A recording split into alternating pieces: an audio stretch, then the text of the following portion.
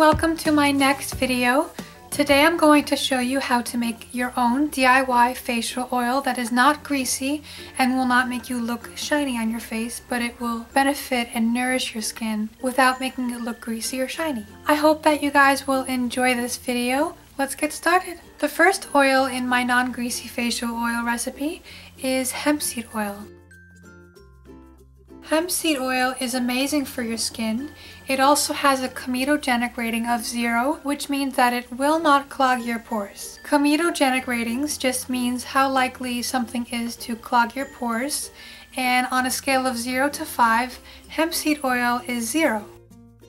Also happens to be one of the best moisturizing oils out there because it penetrates into the skin cells, nourishing them and making them plump. It's also an amazing emollient. Hemp seed oil is great for any skin type since it is very versatile. Hemp seed oil can help to improve redness because of the antioxidants it contains, like vitamin E, plus omega fatty acids like omega-3 and omega-6 can also help with dry patches, itchiness, eczema, blotchy skin. Plus, hemp seed oil is an amazing anti-inflammatory oil, so it can help to calm inflamed skin. My next non-greasy oil in my recipe is apricot kernel oil.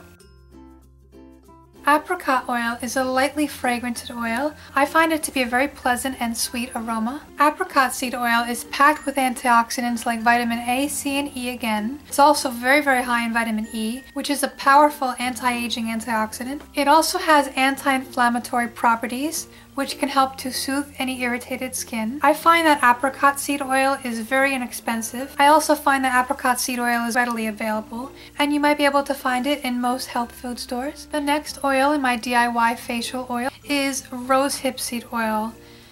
Rosehip seed oil is very, very high in antioxidants like vitamins A, C, and E. The vitamin A in rosehip oil is a natural retinoid, which you might have heard of if you are into anti-aging products. Retinoids help to speed cell turnover. Rosehip seed oil contains essential fatty acids like omega-3, is also an amazing anti-aging oil because of all the antioxidants and anti-inflammatory properties that it contains. This is a magnificent oil for your skin. I would highly recommend it. I would compare it to argan oil except that this is much less expensive I found. I found argan oil to be very expensive and rosehip seed oil is very similar in properties to argan oil except rosehip seed oil is much less expensive.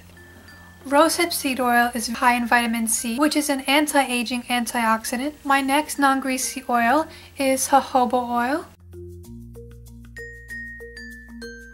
Now technically jojoba oil is actually a liquid wax. Jojoba oil is a melted type of vegetable wax also has a very long shelf life, but I would still recommend putting it in the fridge. It's the only oil that closely resembles sebum on your skin. Human sebum is what the skin naturally produces to help naturally moisturize it. It's made in the oil glands beneath your skin. Jojoba oil is a very well-known and effective anti-aging and anti-inflammatory oil. The properties in jojoba oil can help to reduce redness, itchiness, flaking, and inflammation on the skin. The last two oils that I'm going to show you are absolutely optional because I have found them to be very expensive oils. They are very effective, nourishing, wonderful oils, but they can be a little bit pricey. So these are optional and I tend to use these two oils very sparingly because of that. The first optional oil I have here is tamanu oil.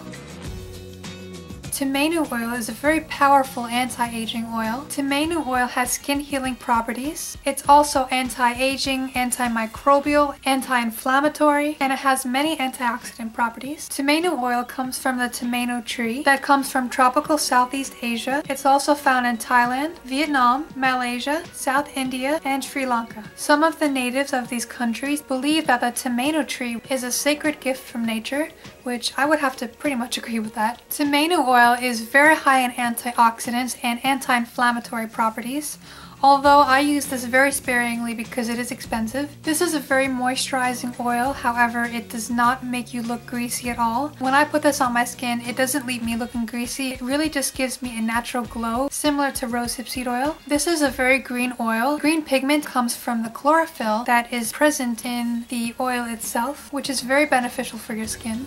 The next optional oil I have here is baobab oil. I'm not sure if I'm pronouncing that right. If I am not, please let me know in the comments. Baobab oil is obtained from the seeds of the Adansonia tree. This tree is one of the most characteristic trees of Africa, often called the upside down tree because it looks as though it's growing roots upwards. The oil is viscous with a rich silky feel and a mild aroma. Baobab oil is an excellent moisturizer. Baobab oil is an excellent emollient for the skin, promotes rejuvenation of the skin cells, and is high in antioxidants that prevent the skin from free radical damage. The anti-inflammatory omega fatty acids plump the skin, giving a youthful look. The normal lifespan of a baobab tree is 500 years, with the oldest trees reaching the age of 5,000 years. Rich in vitamins A, E, and F, and sterols, baobab oil quickly absorbs into the skin. It's also very stable from becoming rancid, although I would still recommend putting it in the fridge. That information came from mountainroseherbs.com if you'd like to check them out. It's not sponsored or anything, that's just where I got my information from the baobab oil from.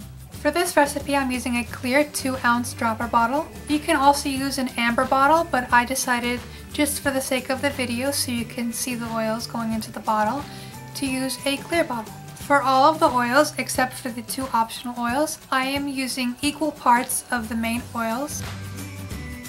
I'm not using exact measurements. Since I'm doing equal parts of the three main oils, I'm not doing exact measurements. But if you would like exact measurements, I'm using about a half a tablespoon per main oil.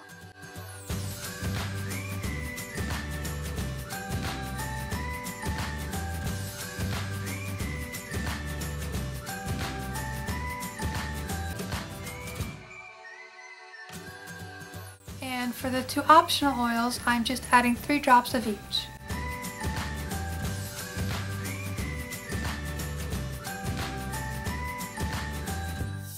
So as I said before, these two oils are optional and you do not have to add these. My DIY non-greasy oil is great for any skin type.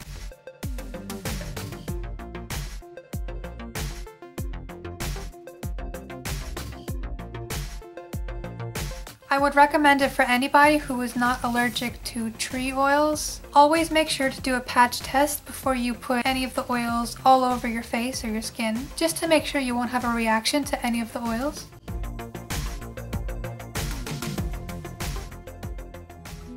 Here I put three drops of my facial oil onto my fingertips and I'm going to show you how it looks on my bare skin.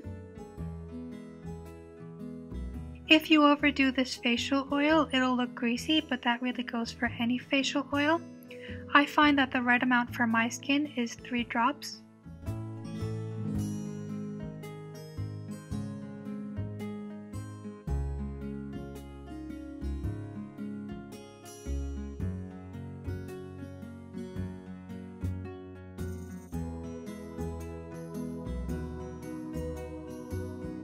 This oil mixture gives my skin a dewy and healthy glow without making me look greasy or oily. I'm just showing you here how it looks in different lighting.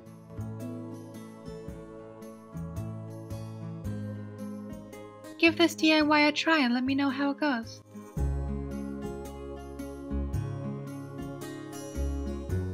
What do you guys think of my recipe? Let me know in the comments below. I'd love to know what you think. Please don't forget to like and subscribe for more videos. I would really appreciate it if you guys could share this video on your Facebook and Twitter. It would really mean a lot to me if you guys could do that. Also share it with any of your friends who love natural DIY projects. I hope to see you in my next video next Sunday. Let me know if you try this oil in the comments section. If you would like to see more DIY hair and skincare on my channel, let me know by giving this video a big thumbs up and I will make sure to do those videos for you guys. Also, let me know what you think of my medieval inspired hairstyle today. I actually got this hairstyle from Luepsi on YouTube. I hope I see you guys again in my next video. Bye!